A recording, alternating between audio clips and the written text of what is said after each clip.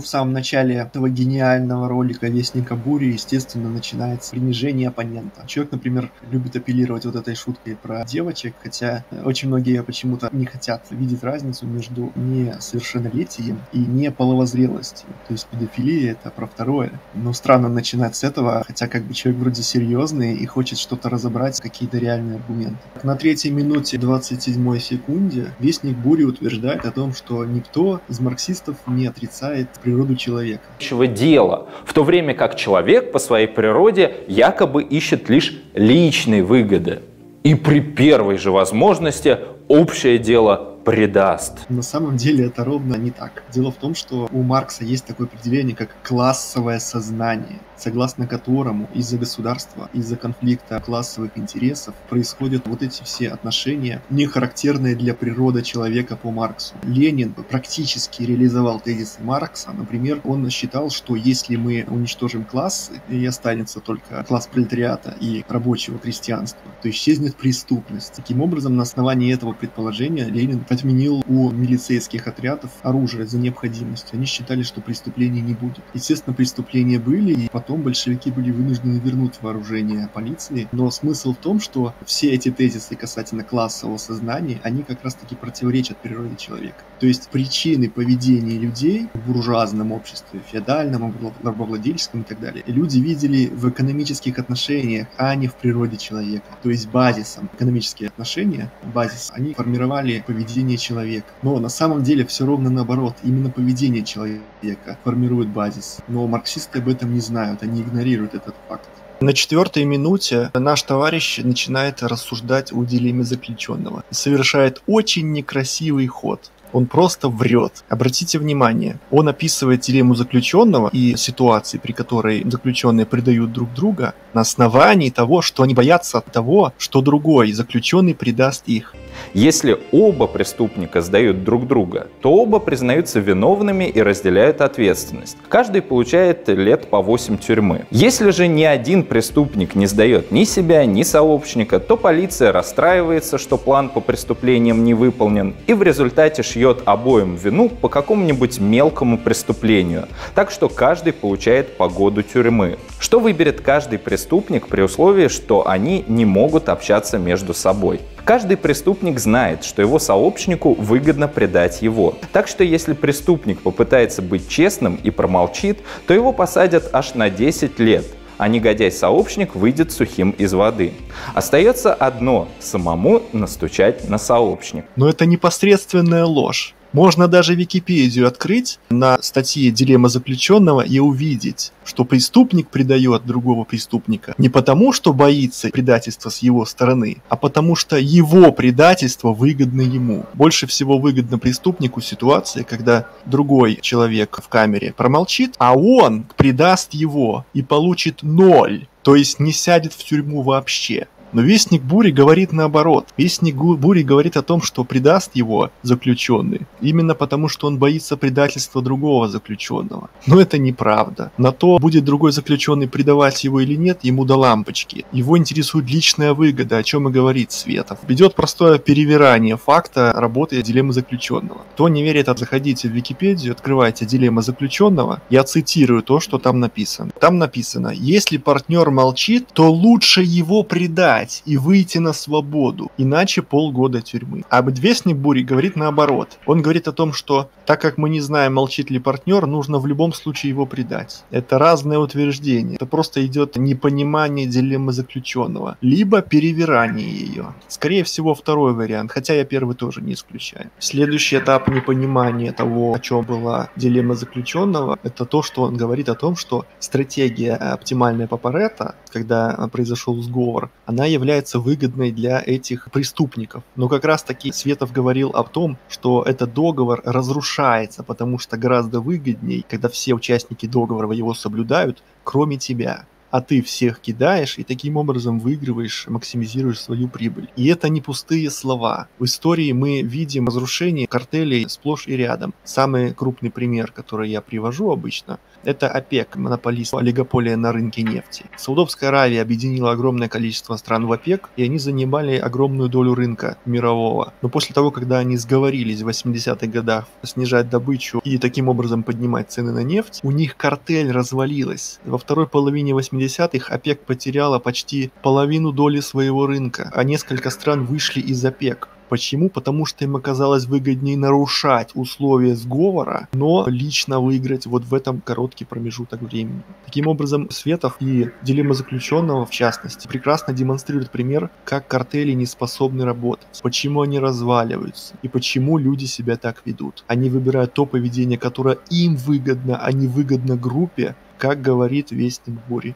Но Вестник Бури это игнорирует. Он говорит, что сговор Парета оптимален, поэтому люди его выбирают. Это полная хинея. Люди не выбирают то, что является Парета оптимальным э, всех. Они выбирают то, что выгодно лично им. Об этом пример эгоизма и пример дилеммы заключенного. Дальше он приводит пример об объединениях компаний. Но это не доказательство дилеммы заключенного. Дело в том, что случаи кооперации выгодны для обоих компаний в том случае, когда они не будут предавать друг друга, потому что это будет менее выгодно даже краткосрочно. То есть получается у нас, когда компании объединяются, они не просто идут на какие-то свои уступки ради общей выгоды, они оба выигрывают больше, чем каждая в отдельности компания, даже если она предаст. Именно поэтому происходит кооперация. То есть кооперация это игра с положительной суммой для обоих участников, а не одного, как в случае с дилеммой заключенного, если второй предает. Не нужно путать кооперацию, которая является некоторым симбиозом, с дилеммой заключенного заключенного, который как раз-таки про то, что кооперация невыгодна, ее выгодно разрушить для одного участника. На седьмой минуте десятой секунде Вестник Бурит говорит о том, что человек ищет стратегии оптимальной по Паретто. Человек разумный ищет оптимальные стратегии по Паретто, в то время как Светов задешево пытается продать нам животные стратегии равновесия по Нэшу. Но Оптимальная Папаретта не для кооперации, а для себя еще раз. Выгодная стратегия оптимальной Папаретта для себя является предательство картеля, если тебе это принесет больше выгоды. Но это же очевидно. Он просто подменил тезис оптимальности Папаретта для всех и для отдельного индивида. Это не одно и то же. На седьмой минуте 30 секунде. Кооперация и дилемма заключенного это два разных примера. В кооперации мы складываем наши полезности и суммируем их для себя. То есть у нас предательство внутри внутри кооперации не дает нам больше выгоды. Именно тогда происходит кооперация, когда все выигрывают от кооперации.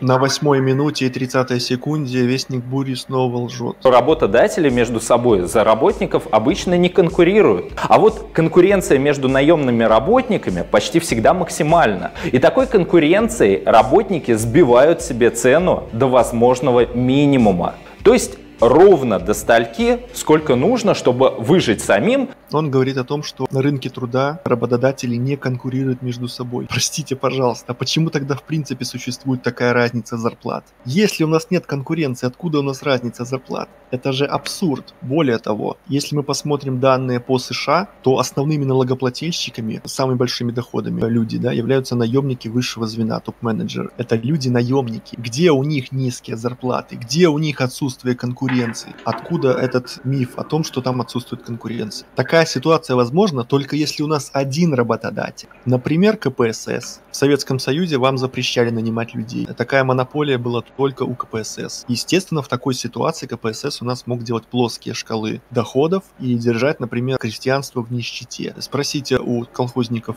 Советского Союза, сколько они получали зарплаты в Советском Союзе. Посмотрите потом после этого, сколько получали в то же время фермеры в США. Для сравнения, в 80-м году на зарплату советский инженер свою мог купить 40 килограммов говядины. Американский инженер в 80-м году мог купить полтонны говядины. Вопрос, где конкуренция на рынке труда? В Советском Союзе или в Америке? И почему у нас такая разница? На 8 минуте 45 секунде снова Вестник Бури лжет. Есть распространенный миф о том, что работодатель платит ровно столько, чтобы человек не сдох с голода. Но если это так, откуда у нас миллионы автомобилей на дорогах? Откуда у нас продажи миллион смартфонов? Откуда у нас спрос на квартиры, ипотеки. Откуда все эти блага могут быть у рабочих, если они получают зарплату только чтобы выжить? А все потому, что они получают зарплату не ради того, чтобы выжить. Ради того, чтобы выжить, достаточно садить картошку на огороде или в лесу грибы собирать. Этого достаточно, чтобы выжить. Но если вы хотите купить iPhone, купить автомобиль в лизинг, квартиру в ипотеку, нормально одеваться, носить кроссовки и так далее, вы ради этого идете работать на завод, потому что там большие зарплаты. Они дают вам не просто возможность выжить, они дают вам все эти блага, которые вы хотите. То есть здесь подменяется просто тезис о том, что капиталист якобы держит на этом уровне зарплаты.